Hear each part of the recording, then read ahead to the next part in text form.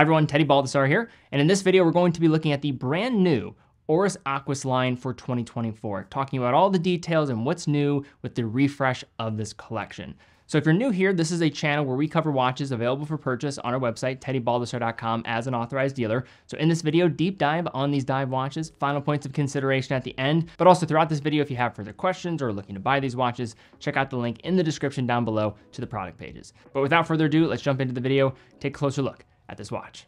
So Oris probably needs very little introduction if you are a regular viewer of content around here. This independent brand has well over a century of history to claim as its own, residing in its Swiss-German hometown of Hölstein, roughly a 30-minute drive outside of Basel.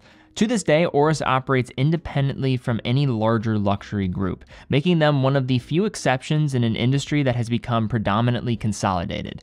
Among their storied collections that span decades, their best selling product line is their 21st century development with the Aquis, the professional dive watch that for years has set a standard for its price range on what a watch of the genre should feel like. The Aquis has followed a familiar form since the beginning, although the collection has never shied away from trying some unconventional takes from the likes of countless limited editions, their extreme depth gauge, and professional oriented options, all while serving as the first horological vessel containing the brand's manufactured caliber 400. The Aquis was steady in its presentation, being versatile, offering exceptional finishing, and a variety that would be enough to satiate mostly everyone in the watch enthusiast crowd. However, Oris felt that there were small but many details to change in order to make the line feel even better. And for 2024, they've updated the entire lineup. So I have many of the collection in front of me here, so let's go through what is new and then talk about the general details that might be familiar but are still important to discuss. Now, at first glance, you might be thinking similar to what I thought when I first quickly looked at these watches, asking,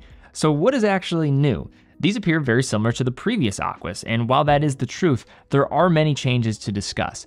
Taking a step back, the new collection comes in with three specific case size options. A 43.5mm case option in different colors, including an updated upcycle model, a blue dial, and a green dial, with these containing the caliber 400, with rubber strap options being available for two of the dial colors.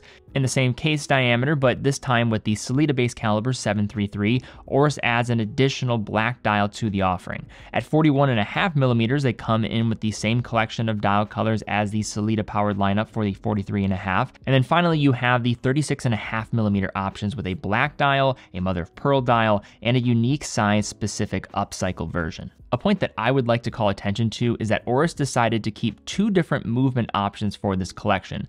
With the strong and successful push towards the Caliber 400, I did think that we might be seeing the end to these Sellita powered watches that came in at a more attainable price by comparison, despite not delivering all the bells and whistles of their Caliber 400 series. But this move seems to put to rest that concern that there will only be one point of entry for movements for this brand, which I appreciate as it gives a collector a choice on what makes the most sense for them. As I have alluded to, the changes on the surface with these watches are harder to detect, but let's go through them one by one to give a sense to what you're getting with the 2024 refresh. I am mostly going to be speaking about the 43.5mm and the 41.5mm options, given that these were the sizes I was able to get my hands on to spend more time with, and I will specify when a change is isolated to only one of the sizes as we're going through. Starting with the structure of the case, there are a few areas to direct our attention towards. First, with the crown guards and lugs, both of which have been reworked in their profile. The crown guards are going to be tapered further to create a slight change in the refinement in the silhouette while maintaining their intended purpose of protection. The lugs have been sculpted while continuing to meet the bracelet and ultimately the wrist in a cohesive manner. And then the bracelet has also received some updates, including a wider brush center link while featuring a heavier taper down to 16 millimeters along its journey to the clasp. For the 43.5mm caliber 400 versions, they get a notable point of separation beyond the benefits of the 5-day spec'd out movement with the inclusion of Oris's new quick adjustment clasp and their quick change strap system both patented by the brand. The ceramic bezel remains with its clean inlay of indications that elevate its presentation, however the proportions of the bezel have been adjusted scaling down the size of the bezel markings. The dial also received some refreshes including mild updates to the hour markers, the alpha hands at center are going to be slimmed down favoring elegance, and the dial typography has been updated to a modern approach. Since we are speaking about the Aquis date, the date window is also an area of discussion, as now all of these models will feature a color matched date wheel within the open aperture. That includes all dial colors, even the recycled plastic dials of the upcycle. The final change surrounding these watches are not with the products, but with the packaging, with the 2024 Aquis packaging aligning with the broader sustainable initiative of the brand, with more than half of the box being able to be recycled. And that about does it with the changes. And yes, indeed, very small changes, but when you have a product that works, it was clear that Oris was not in the business of reinventing a product from the ground up, more so identifying key attributes that help deliver small points of improvement and change. From here, much of the standard features remain. Looking at the wearing dimensions, starting with a 43.5 millimeter diameter, we have a thickness of 12.9 millimeters and a lug to lug of 50.8 millimeters. The 41.5 millimeter diameter comes in with a thickness of 12.9 millimeters and a lug to lug of 48.5 millimeters. Similar to the previous examples of the Aquis, all of them wear smaller than their proposed diameter given the integrated design of the bracelet that is going to be forgiving and shooting straight down and around the wrist with the 43.5 millimeter wearing closer to the typical 42 to 42.5 millimeter case, and the 41.5 wearing closer to a 40 to 40.5 millimeter case. The bezels remain with their unidirectional 120 click. The Lume offers solid utility, though not the best you're going to come across, and the case is finished exceptionally for the price. The screwed in links of the bracelet feature brushing and polishing with a similar theme coming with the central case with the sculpted edge of the lugs and the bezel and crown edges being polished, while the case sides and lug tops all exhibit brushing. All the Aquis date models shown here come with 300 meters of water resistance, offering a similar theme in their dial seen underneath their sapphire crystals, with the color options utilizing a sunburst finish with a darkened vignette perimeter. The oddballs are going to be with the upcycle models, which feature dials made from recycled ocean plastic, a concept that has been refreshed with the new rollout of the Aquis here. I find many of the corporate pushes around sustainability coming off as forced rather than actually being thoughtful attempts.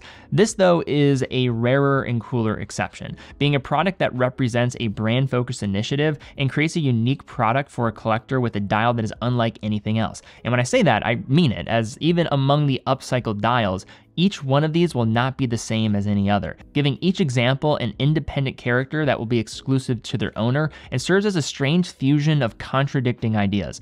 A luxury watch with a dial made of, well, trash. Now the clasp on all the watches are well done with the Caliber 400 making use of that updated micro adjustment system and the Sellita base models coming with a two button release clasp from milled components and three points of micro adjustment. The quick change system on the straps in the Caliber 400 models is also a nice touch, making swapping between bracelet and strap an easier endeavor.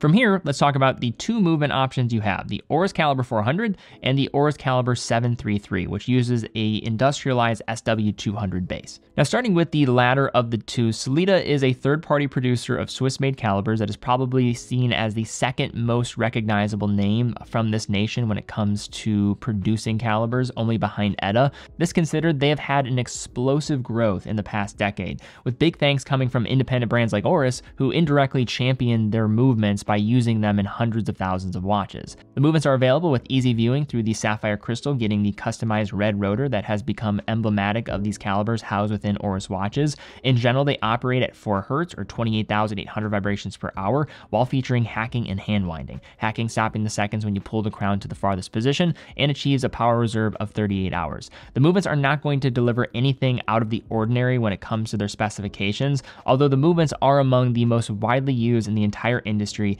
giving confidence to their reliability. On the other side, you have the Caliber 400, a movement that marks a new era for Oris in a variety of ways while delivering specifications on paper that are the best the entire industry has to offer for its sub $4,000 price. With its appearance, the Caliber has a uniform blasted finish across its bridges and a hollowed out line brush rotor. Powering the Caliber, you will see double barrels providing 120 hours or 5 days of power reserve.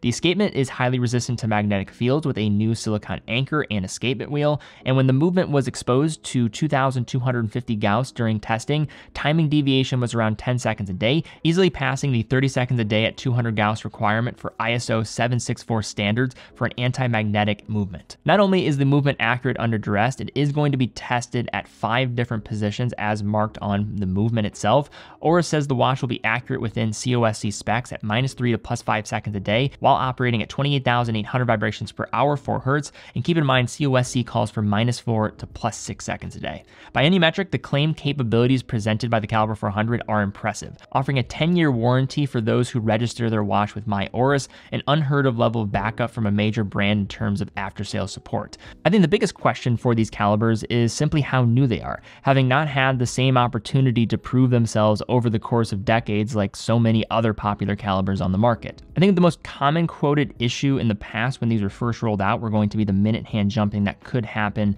when you push the crown back into its first position following setting the time. This was being created by a slight drag with a gear and a pinion that were going to be disengaging. In this example here, as well as in other caliber 400s as of late, this seems to have been improved, which is great news because on paper, these are legitimately some of the most compelling movements under $5,000 in all of watchmaking. All right, so now let's unpack looking a little bit more at this Oris Aquis 2024. Some of my thoughts, some of the considerations I would think would spring to mind for a potential suitor or buyer that are looking at this for the first time. I think the first thing that stands out for me is these are nice updates, but they're very small updates. So I think with the updating of a line for an Aquis, I think there will be some people that will come away from this thinking that, okay, this is very small. The Caliber 400 does have more things going for it now with some of these additional features with the bracelet and strap options, which I think do make that more of a compelling package. But if you're an owner of a previous Aquis model, probably not enough here to want to entice you to get the latest version. If you wanted to go for a Caliber 400 model, that might be a different story. But if you're an owner of a previous generation Sellita model, it's not going to make much sense to transition into buying this Aquis, even though I do think some of the small touches are nice details. But then you shift over to, you know, what is new, and then you just talk about what the Aquis is and what it has been for many years. The Aquis to me represents some of the best value and finish for the dollar amount for any dive watch. It's versatile, it's legible, great water resistance, different case sizes to choose from, although we do not have a 39.5 millimeter case option, at least at this point.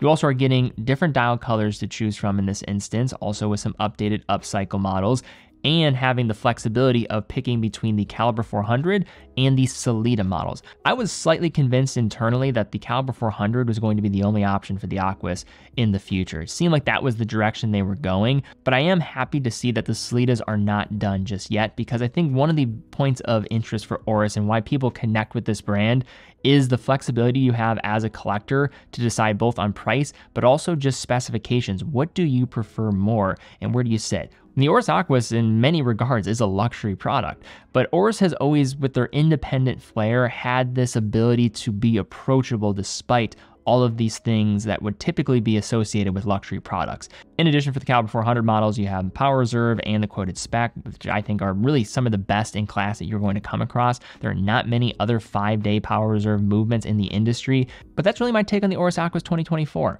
It is basically the same feeling that I had about the Aquis 2023 in the years previously, except you're getting some small touches of refinement, even more the case with the Oris Aquis Caliber 400. And I think if you're a brand and you're trying to update a model that has become a representing idea of a dive watch in its price range, you probably don't need to reinvent the thing from the ground up. And that's what Oris did. Small touches to give the Aquis new life in the years going forward. All right, guys, that's all we have for this video. If you did enjoy it, please give it a thumbs up, subscribe, hit the bell icon. Really do appreciate that. Also, check out TeddyBaldassarre.com. TeddyBaldassarre.com is a full authorized dealer of over 30 brands, quick and fast fulfillment, dedicated customer support, and a full factory warranty for all the products that we offer. And how we're able to manage all of our productions on our main channel as well as here is through selling watches on our site. So if you are in the market for a watch, we know you can buy a watch from a lot of different places nowadays, but it allows us to keep doing what we're doing here. And we love what we do. But guys, thank you again so much for watching. Be well, and I will see you all very soon.